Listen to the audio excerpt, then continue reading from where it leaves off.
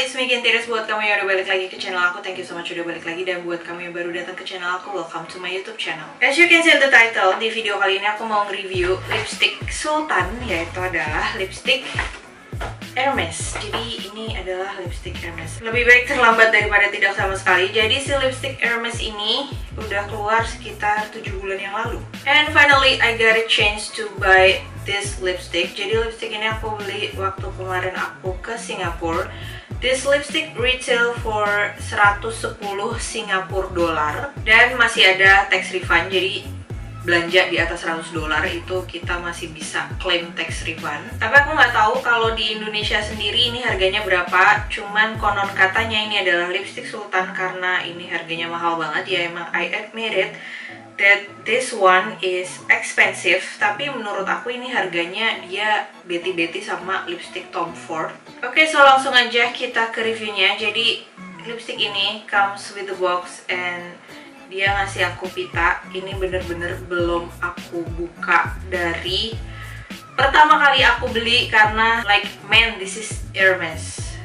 Oke okay, jadi dia tuh bukan di pronounce Hermes. Hermes Hermes tapi dia pronounce Hermes just like Hermes Oke, jadi waktu aku beli aku dapat paper bag warna orange. Jadi ini paper bagnya rada gede karena aku juga beli parfum juga. Kalau misalnya uh, beli lipstiknya doang itu paper bagnya lebih kecil lagi. Oke, jadi langsung aja kita buka. Ini kayak agak deg-degan gitu mau buka. Sorry lebay banget. Maafkanlah kelebayan aku. Baiklah, kita tarik pitanya. Dan aku tidak bisa mengembalikan pitanya lagi, tapi tidak masalah karena nanti kita akan pakai lipstiknya. Oke, jadi pitanya udah aku buka and push. Push like that. Nah, terus di dalam lipstick ini tuh kita dapat dust bag, dapat dust bag khas Hermes. Terus ini packagingnya berat banget BTW. Ini adalah packaging lipstick terberat yang pernah aku pegang dalam hidup aku. Tapi BTW si uh, Hermes Rouge lipstick ini dia tuh bisa di refill gitu. Jadi kalau misalnya habis kamu bisa ganti dalamnya doang. Jadi nggak usah beli se-casing-casingnya lagi. Untuk refillnya doang itu harganya 62 Singapore dollar. Ini di atasnya itu dia ada logo Hermes-nya kalau misalnya kamu bisa lihat kalau misalnya nggak bisa lihat ya sorry. Mungkin kameranya nggak fokus tapi This is so pretty, this is so gorgeous. Nah, si lipstick Hermes ini sendiri tuh ada two types, ada yang matte dan juga ada yang satin. Tapi karena aku BPJS, budget pas-pasan jiwa sosialita, jadi aku cuman beli yang matte doang, itu satu warna.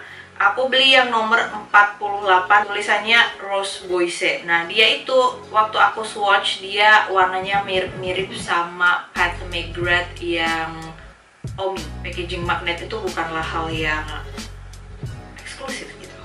Oke jadi ini dia packagingnya magnet kayak gitu. Terus nggak gimana-gimana. Terus ini di dalamnya tuh kayak gini. Literally dia nggak ada emboss. Oh ada. Dia ada emboss tulisan Hermes di batang lipstiknya kayak gitu. Nah si lipstick ini sendiri dia beratnya adalah tiga setengah gram. Dan kalau dilihat dari teksturnya dia mirip sama Pat McGrath aku ada Pat McGrath juga tapi di belakang terus kayak males gitu mau ngambilnya. Oke lah aku ambil dulu.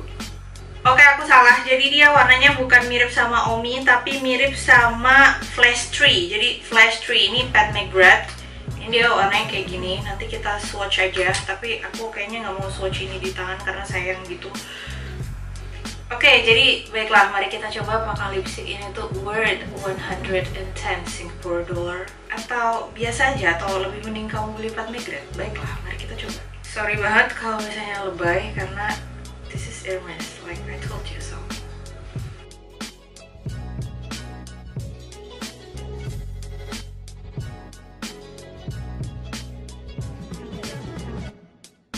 Oke, okay, I wear this udah aku aplikasiin ke bibir dan ini rasanya moist rasanya moist. Jadi dia rasanya nggak ada matte-matte sama sekali. Kalau si Pat McGrath ini dia kalau diaplikasiin itu kan dia langsung matte gitu di bibir dia berasa matte gitu. Nah kalau ini tuh enggak dia walaupun dia tuh namanya uh, Rouge Hermes matte lipstick tapi dia sama sekali nggak ada uh, matte matte nya gitu. Dia rasanya satin. Ya memang dia rasanya ringan di bibir kalau misalnya uh, bibir kamu sensitif dan butuh extra care dan suka tender lipstick gitu. Ini pas banget ini rasanya lembut banget dan rasanya nyaman banget ringan banget di bibir.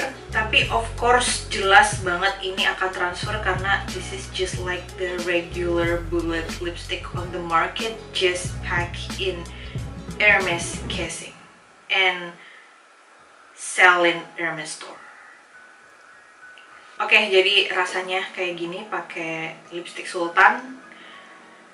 And kesimpulannya adalah, eh, bentar banget ya reviewnya ya. Tapi ya udah emang nggak ada nggak ada apa-apa lagi, nggak nggak bisa digimana gimanain lagi gitu. Oke, okay, kesimpulannya adalah kalau misalnya kamu punya uang, ya udah beli aja nggak apa-apa because it's Hermes. Tapi kalau misalnya kamu pengen nyoba luxurious lipstick yang bener-bener seriously very comfortable and seriously the best lipstick in the world kamu boleh cobain Pat McGrath aja karena to be honest lipsticknya Pat McGrath yang classic ini tuh ini tuh bener-bener the best lipstick the best uh, bullet lipstick I've tried on the market selain itu dia juga ada ornamen khas Pat McGrath yang ada bibirnya gitu kalau aku aku lebih suka si Pat McGrath dibanding si Hermes ini. Oke, okay, sekian. Jadi kalau misalnya kamu pengen nge-splurge diri kamu, kamu pengen memanjakan diri kamu, yaudah nggak apa-apa kamu beli si uh, lipstick Hermes ini dengan harga 110 Singapura dolar retail first 110 Singapore dollar.